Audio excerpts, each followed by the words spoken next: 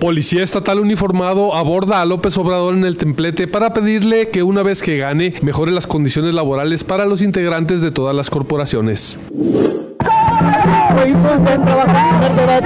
Yo represento a toda la policía estamos a. Queremos buen salario, queremos que se nos dignifique la policía.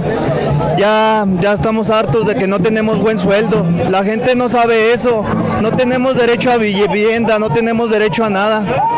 Y por eso aquí me vengo a manifestar. Quiero que gane este señor para ver si hay más beneficios para la policía. Se lo dije al candidato. Me dijo que nos va a apoyar, primeramente mi Padre Dios.